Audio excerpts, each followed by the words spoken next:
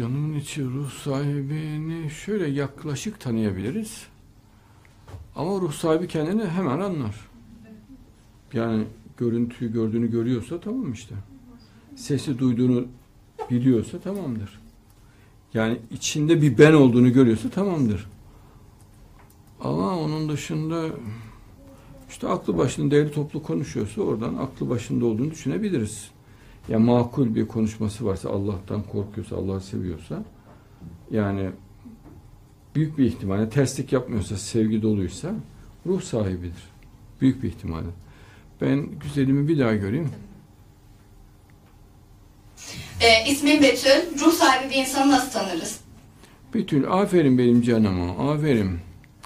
Tesettürün için seni tebrik ediyorum. Canım içi. Bir de çok güzelsin. Tertemiz, nur gibisin. Allah nurunu artırsın.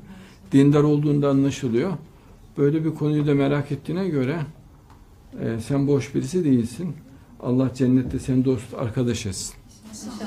İnşallah. Platonik aşk hakkında ne düşünüyorsun?